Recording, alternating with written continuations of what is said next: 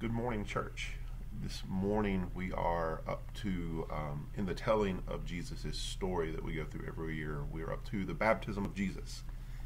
We've made it through Advent where we focus on the anticipation of God's faithful people in those long, dark years before Jesus came, that time between the making of the promise and the keeping of the promise, and how we can be, how we should be a people of anticipation and faithfulness who learn to wait on God as well. We've been through Christmas now, where we celebrate the coming of Jesus and all that means for the world, which is a message that uh, in times like these we could use quite a bit of. And uh, we could be a blessing to the broader world if we embody that message. And now we are in the season of Epiphany. And Epiphany, of course, is um, sort of unveiling, a contextualizing, a making known. If you have an epiphany, it's like a eureka moment given to you by God. God is revealing who Jesus is. And last week we started with the wise men, uh, the pagan sorcerers who came to worship him, and some of the things that that might have to say about who God is. And this week we come to his baptism. And every year when we go through the story, one of the other features that um, we always do is we pick one of the Gospels along with this ancient preaching plan called the lectionary. Uh, we pick one of the Gospels and we emphasize mostly on it, not exclusively on it, as we go through the story of Jesus, oftentimes interspersed with text from the Gospel of John and occasionally Old Testament text, text from the other New Testament. Our Gospel for this year is the Gospel of Mark. And so, really, today marks the beginning of our exploration, this season for the Gospel of Mark. Uh, Mark doesn't say anything about the birth of Jesus, so we've been focused on other things up to this point, primarily in the Old Testament through the season of Advent.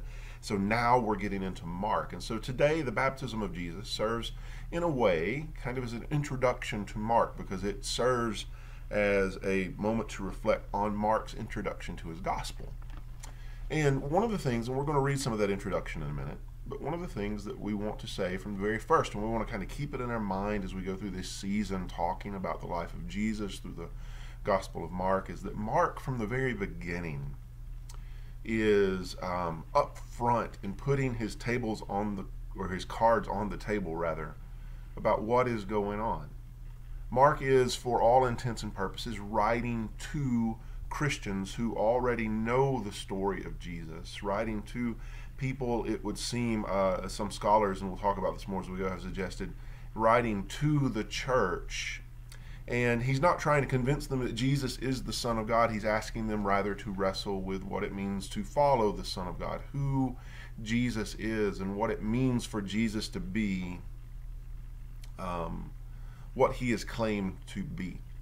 And so all of that kind of begins here in the beginning where John, or Mark rather, does not bury the lead. He does not keep us in suspense. He doesn't make us wait. He just goes ahead and tells us up front uh, without playing around what is going on. And so, what I want to do is I want to start reading in verse 1 of Mark chapter 1, and I want to go down a ways through the story of Jesus' baptism, and then we can talk about this for just a few minutes this morning. Uh, this is Mark chapter 1, starting in verse 1. The beginning of the good news about Jesus Christ, God's Son, happened just as it is written about in the prophecy of Isaiah. Look, I am sending my messenger before you, and he will prepare your way. A voice shouting in the wilderness, Prepare the way for the Lord, make his paths straight. And John was in the wilderness, calling people to be baptized to show that they were changing their hearts and lives and wanted God to forgive their sins. Everyone in Judea and all of the people of Jerusalem went out to the Jordan River and were being baptized by John as they confessed their sins. And John wore clothes made of camel's hair and a, with a leather belt around his waist. He ate locust and wild honey. He announced, One stronger than I am is coming after me, and I am not worthy to bend over and loosen the strap of his sandals. I baptize you with water, but he will baptize you with the Holy Spirit. About that time, Jesus came from Nazareth of Galilee, and John baptized him in the Jordan River. And while he was coming up out of the water, Jesus saw heaven splitting open, and the Spirit like a dove coming down on him. And there was a voice from heaven You are my Son, whom I dearly love, and in you I find happiness. At once the Spirit forced Jesus out into the wilderness, and he was in the wilderness for forty days, tempted by Satan. He was among the wild animals, and the angels took care of him. And so I just want to kind of spend a few moments this morning reflecting on this story as we introduce Mark's gospel. Again, Mark doesn't leave us in suspense as to what is going on. He says from the very beginning that this is, uh, much like the other gospel writers do in their own ways, this is a story about Jesus who is the Christ. And it starts, he says, with this uh, contextualization. He's going to draw in from the very beginning this text from Isaiah to explain who John the Baptist is. And it just reinforces this point that he wants to drive, that he wants to make clear from the very beginning, that everybody that's reading this likely already knows because he is, um, again, not trying to convince us that Jesus is the Christ. He's asking us, as people who have already pledged allegiance to Jesus, what it means to follow Jesus. And so he draws in this passage from Isaiah. Uh, this passage from Isaiah about how when God comes as king, and this is set against the failures and the inadequacies and the ineptitudes of earthly kings, the ways that they have gotten it wrong. He um, he says that when God comes as king, there will be going before him a messenger whose job is to make paths straight, to fill up holes and valleys, to level mountains, to prepare the way of the Lord. But the important thing in Isaiah is that when this messenger comes, it's a sign that God is coming as king. God is the one who's going to set things right. God is the one who is coming to to do what we have failed to do to establish, for instance, righteousness in the face of unrighteousness, or justice in the face of injustice, or peace in the face of violence, or healing in the face of brokenness, or light in the place of darkness. God is coming to do this, and when the messenger comes, that's what we know is coming. That is the next step. And so Mark introduces John the Baptist as this messenger. You guys read the story in Isaiah, and this is what's happening with John the Baptist. And John, in Mark's story, has two basic elements to what he's doing. First is he's calling people to uh, repentance and the forgiveness of sins via baptism. He's baptizing people with a baptism of repentance for the forgiveness of sins. And so he's calling people to repentance. That's the first thing. And um, I've been kind of thinking this is kind of uh, an important point for Mark. Mark is um, is going to be wrestling with us who think that we know Jesus, whether or not we really know him whether or not we're really following him, whether or not the way we live our lives and we talk about him and we, we act out our values is really faithful to his way of doing things. And so he begins with this, this message of repentance. And that might be a theme for the year. We focus on this notion of repentance because oftentimes in the church, I've said this before, but this is kind of one of those refrains we need to focus on.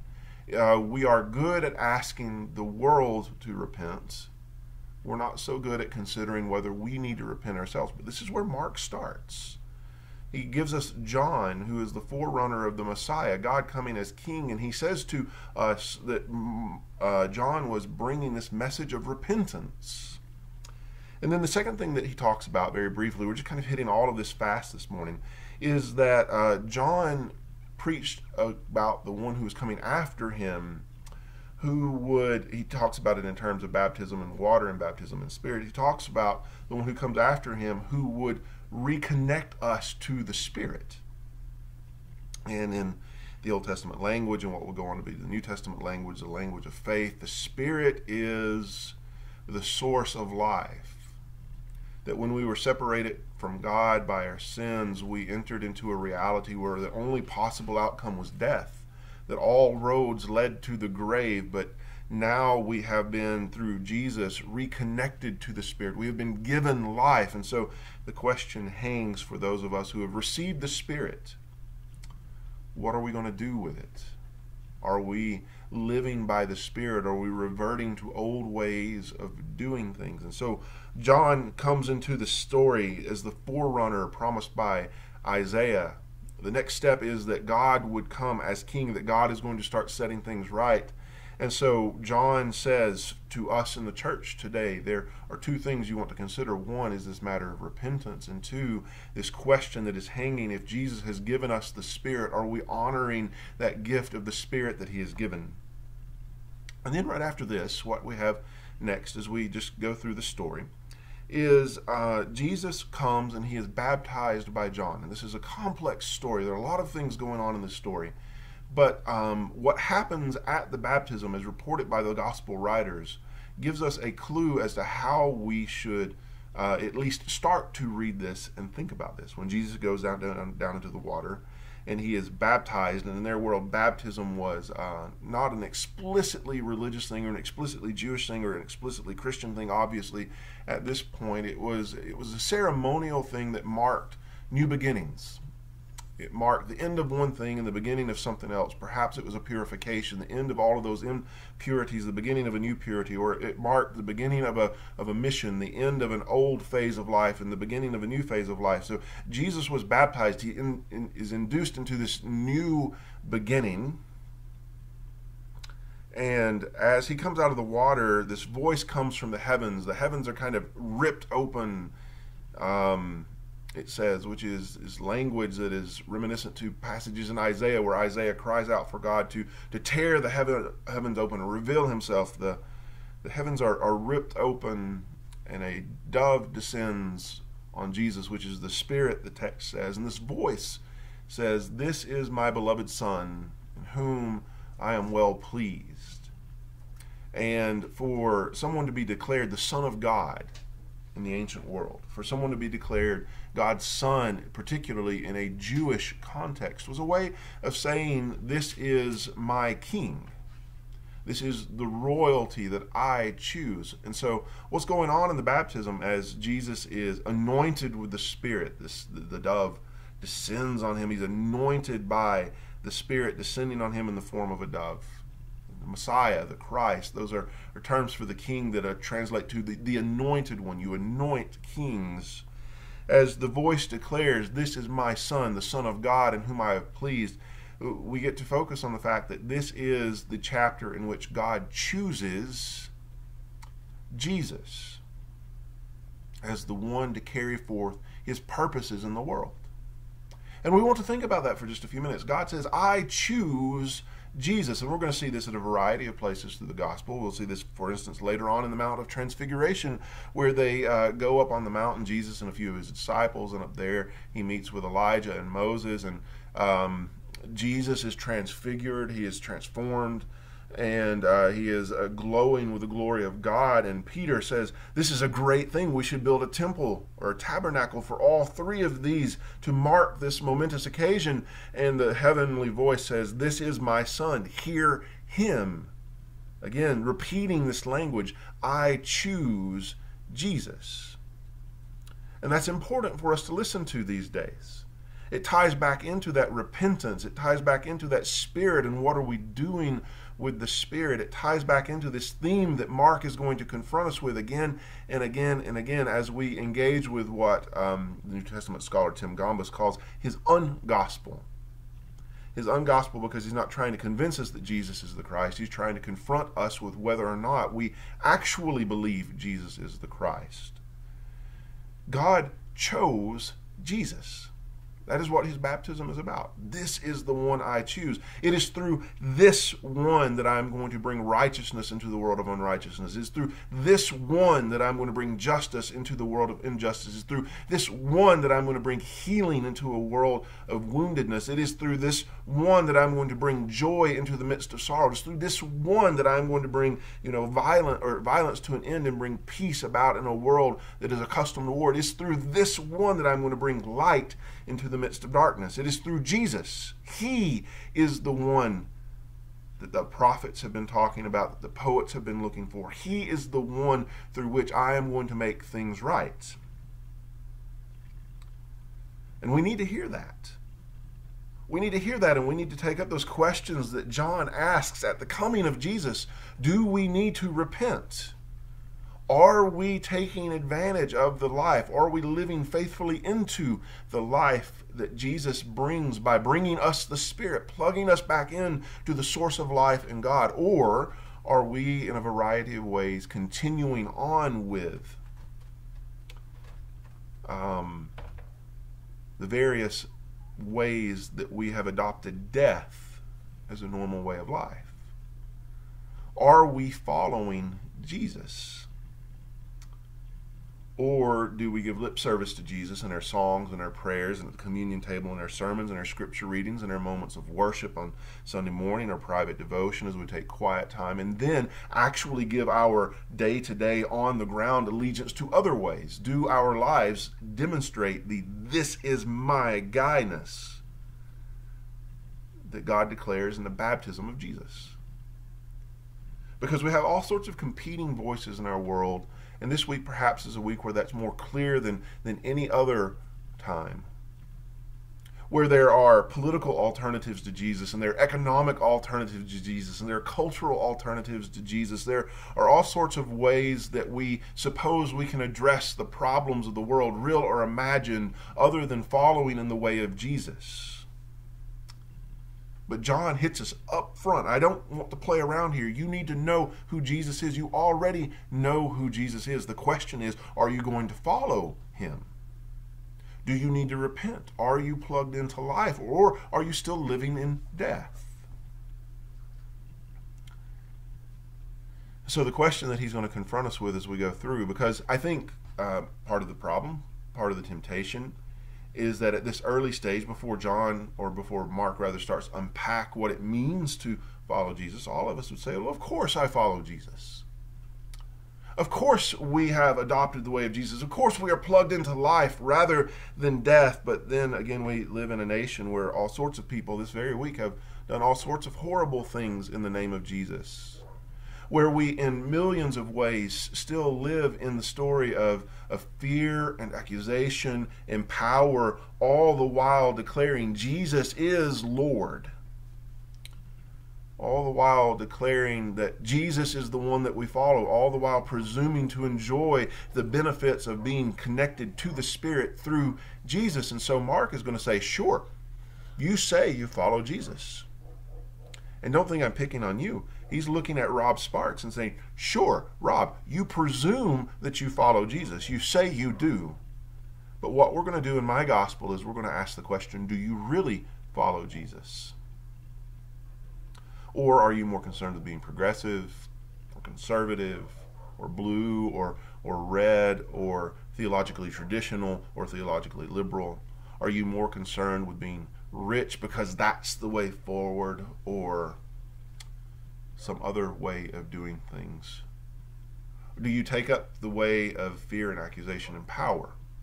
It says there are broken things in the world, things that ought not be scary things, and the way to fix them is to get power over them and take care of them that way. That way we don't have to be afraid of them anymore. Do you take up that way in the millions of ways that that story plays out in the world, or are you really following Jesus?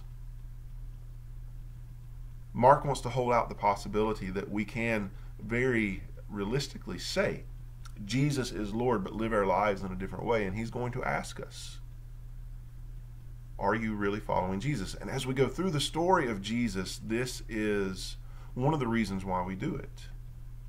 We want to pray to God, and we will pray to God here in just a minute that He remove all of the debris, all of the things that fog our vision, all of the things that block us from seeing Jesus as He is, so we can follow Jesus as He is, not as we suppose Him to be. Not some other God in the form of Jesus, but actually follow Jesus. And so the declaration comes in Mark's gospel from the very beginning. This is my son. This is the one I choose. And so it's going to foster a season of repentance. He wants to reconnect you with the life of the Spirit where all we have known is death. But we have to ask are we really willing to follow Jesus or are we going to hold on to stubbornly all those old ways of doing life? Let's go ahead and pray and then um, we will let you guys go after we remember who we are. Father, we come to you in this season of Epiphany and we ask for clarity of vision and understanding as we seek to know who Jesus is. We pray that you would give us the humility to consider that we too may need to repent. We pray that you would give us the courage to repent where it becomes obvious that we should. We pray that you would give us clarity of vision, that you would move aside all the obstacles, clear out all the debris, push aside all of the things that keep us from seeing Jesus clearly. And that we would focus on the glory of who he is and what he has brought in the world. God, may we be more like Jesus. And we come to you now and we pray as a family. Our Father, who art in heaven, hallowed be your name. Your kingdom come, your will be done on earth as it is in heaven. And give us this day our daily bread. Forgive us our debts as we have forgiven our debtors. Lead us not into temptation, but deliver us from the evil one. For yours is the kingdom and the power and the glory now forever. Amen. Let's remember who we are as we go into God's world. We shall love the Lord our God with all our heart, with all our soul, with all our mind, and with all our strength. This is the first and greatest commandment. A second commandment is like it we shall love our neighbor as ourselves. All of the law and the prophets hang on these two commands. We love because God first loved us. Anyone who says that they love God but hates their brother or sister is a liar. How are you going to love God whom you have never seen if you don't love your brother or sister who is right in front of you? So, this is the command we have from him those who love God must also love their brother and sister. Church, we love you and we miss you. We look forward to seeing you again, but we are pulling for you way over here. Can't wait till we can um, pull for you face to face. Y'all have a great week.